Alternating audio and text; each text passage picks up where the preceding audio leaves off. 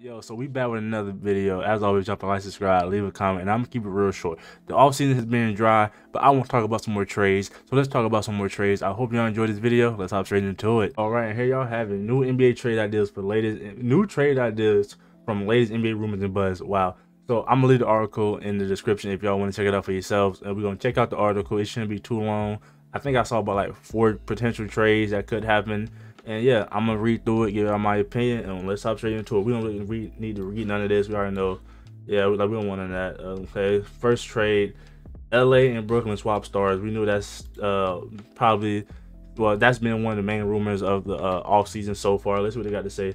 The trade: Kevin Durant, Kyrie Irving for AD and Russell Westbrook, and the 2027 first round pick and protected wall. Okay, hold up, hold up. Kevin Durant and Kyrie Irving is kind of ridiculous. If, if, we're being real here, there's no way that's happening. And we just got news today that Kevin Durant said it's either him or uh, Steve Nash and Sean Marks. He said, uh, not Sean Marks. Is it Sean Marks? One of them. Yeah, he was like, you pick me or you pick them. They got to go. But let's see what they say. But again, uh, uh we knew it was probably Russell Westbrook for Kyrie Irving, but KD and Kyrie for AD that's never happening, if we're being real here. But let's see. The front office of the Lakers and Brooklyn Nets have seemingly been circling each other and carry over potential trade all summer. We know that the money part of the equation isn't hard to figure out. Westbrook and his 47.1 million salary would have to be involved, regardless of whether Brooklyn would keep him or buy him out after the trade. Sticking the sticking point seems to be how much draft capital LA sends.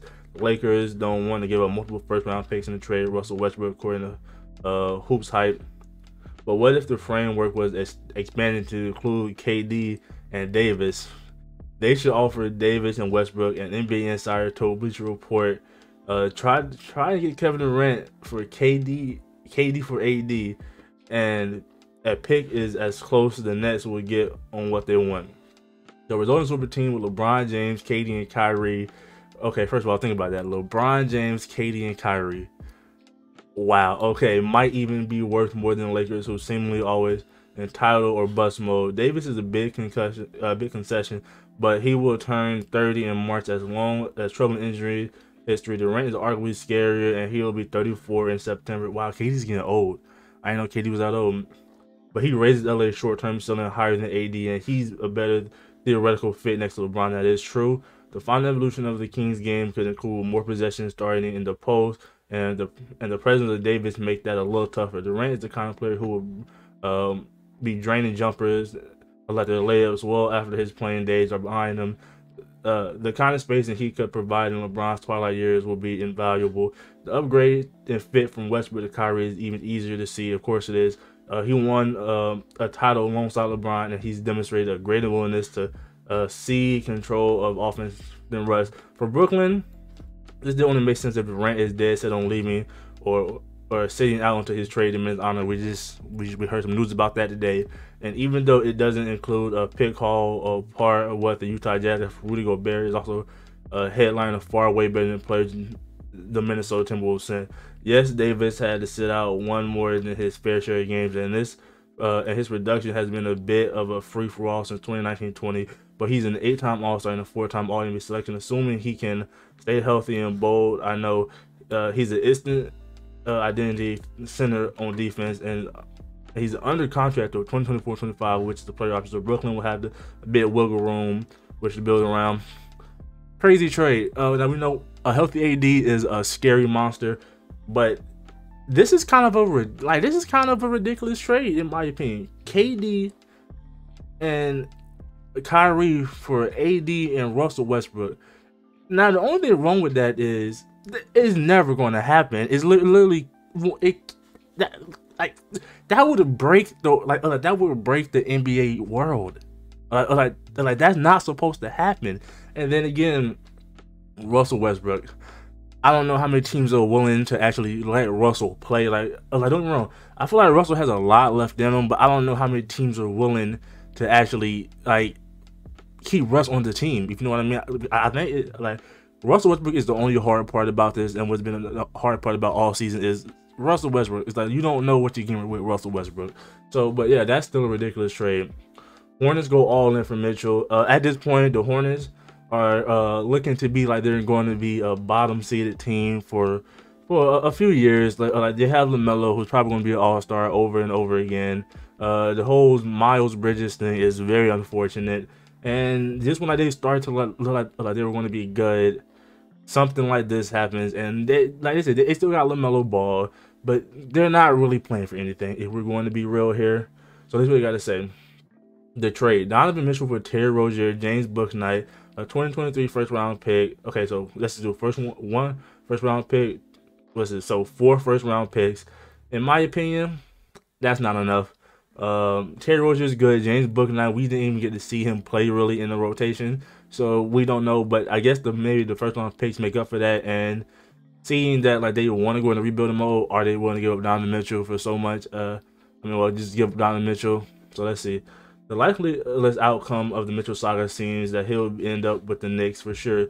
The Salt Lake City Tribune wrote that overwhelming feeling among league insiders that Mitchell is likely to sign outside of Utah, the first availability opportunity in 2025.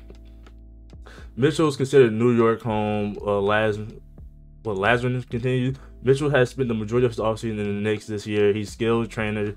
Chris Brickley operates out of the gym in the city. It makes sense that he'll be interested in living there full time. But what if that just means the Knicks will be a hesitant to include significant draft compensation for a player that can uh, wait to sign outright. Three years is a way is a ways away, but the amount of picks Utah reportedly demanding is daunting.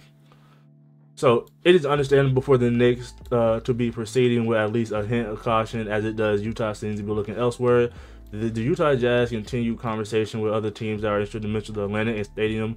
Sham Sharm, uh, Shams said on the, rally, teams like Charlotte and Washington, I'm told, Washington, that's my first time hearing about Washington. Uh, if the New York Knicks want to haggle over a top face protection attached to those, because the Charlotte Hornets swoop in with four of their own to pair Mitchell with LaMelo Ball? That'd be an interesting duo. I like it, but it'd be interesting.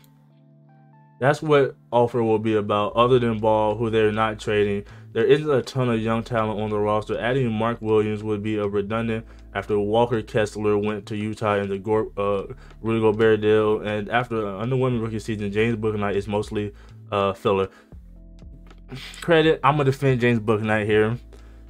Uh, we didn't get to see him play that much, honestly. Uh, uh, like he barely had any minutes, and from what I saw, so mm, that's just me defending James Bouknight, just just because. Uh, though a good player in the right situation, mostly to satisfy the collective bargaining agreement trade rules.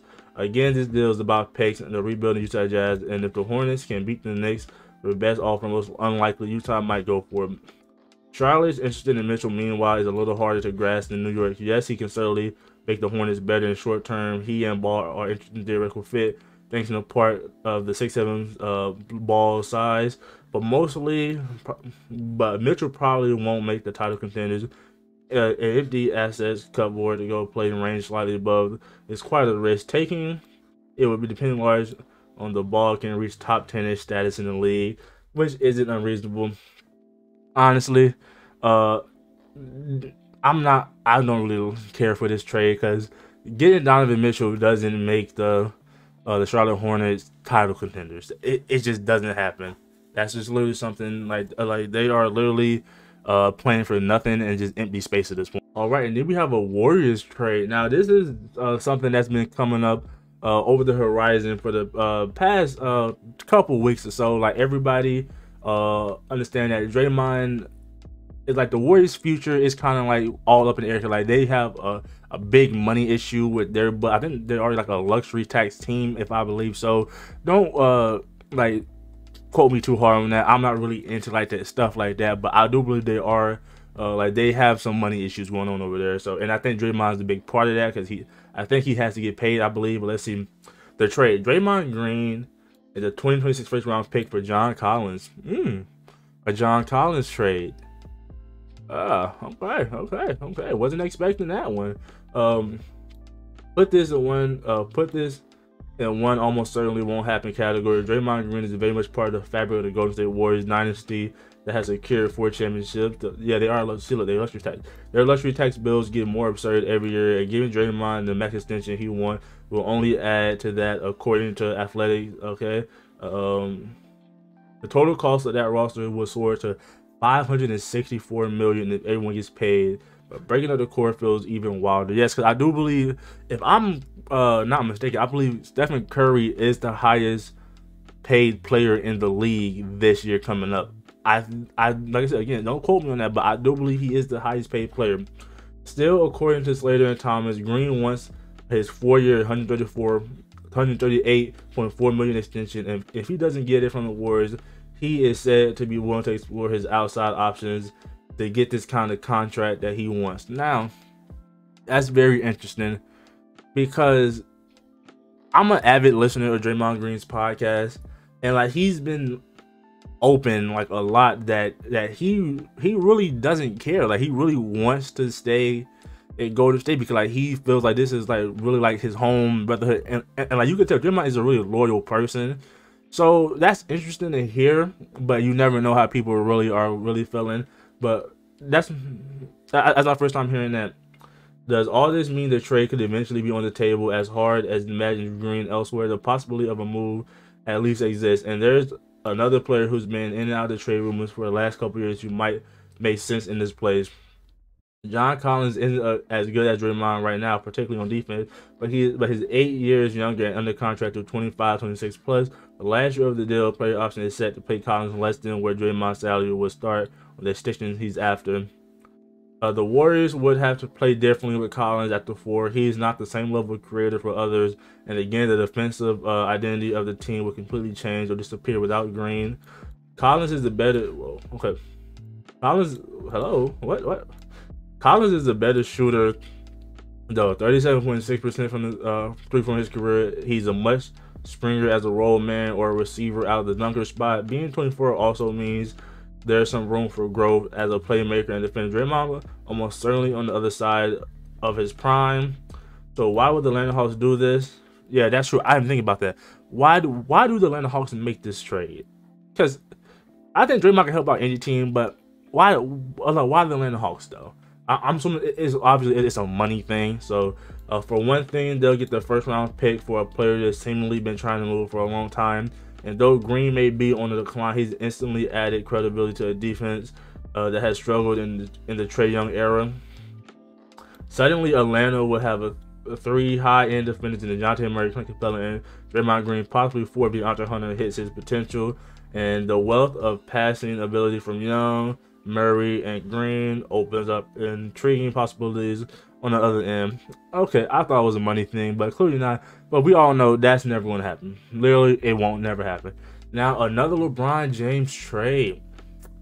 Okay. Another LeBron James trade. Let's see. The trade LeBron James for Kevin Love, Jarrett Allen, 2024 first round pick, and the 2026 and 2028 this no no it, it, it won't happen i don't know where they're hearing this rumors from from like i don't know what execs are saying stuff like this but really really now no, come on man okay wow now i really want to read into this right here that's ridiculous uh all rights were uh really getting weird this feels okay. No, all right. Now we're really getting weird. Wow, this feels even less likely than Draymond move because it is, and it only exists in a world where the Lakers don't get LeBron a little more help this offseason. But it can't be discredited entirely. ESPN's Brian Wind, uh, Windhorst, who's who, who's been goaded for the past month or so. Like, come on, shout out Brian Windhorst, who's done about as much reporting on LeBron's career as anyone already mentioned the possibility of him signing with the Cleveland Cavaliers in 2023. I, I, I haven't heard that before. Okay. And the Lakers can't beef up their roster or come to an agreement on extension with LeBron James this summer. Rich Paul told ESPN the two sides have productive talks in the matter. Wow, whoa. So, they, so they've been talking. Okay. They might have seriously considered moving him. As ridiculous as it seems, it beats the possible alternative for losing him for nothing it does in free agency. So why not engage in the Cavs idea, starting by asking for Sally Philly, Evan Mobley, and four, four or five picks when Cleveland says nah, we'll just wait for 2023. The Lakers can back off a bit, and if they end up with with a 24 year old All Star and three or four picks, they can at least sell the fans on the being preferred to not losing outright, lose him outright. For Cleveland, though, it's built something organically that may be painful to break up. The organization owes a lot to James, and he's ended a decade long title drought for the city. and brought relevance to the franchise that had never reached the heights it did with him. LeBron James' whole hometown is ushering him to end his Hall of Fame career with Darius Garland, Mobley assuming he wouldn't be in the deal, and oh say Bronny James would make for a charming final chapter.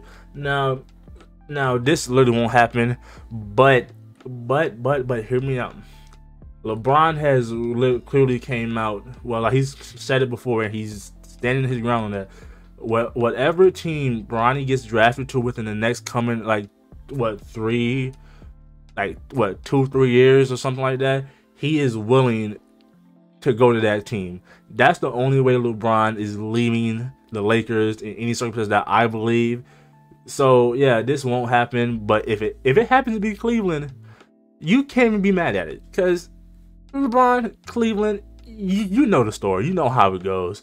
But yeah, so like there we have it. Uh, a lot of a lot of interesting stuff. And Draymond Green, very interesting. Uh, both LeBron, uh, but LeBron James won, and um, the KD and Kyrie AD still kind of trying to wrap my mind around that one, but that was very interesting. But hey, as always, if you enjoyed the video, drop a like, subscribe, leave a comment. I'm gonna catch you next video. We out of here.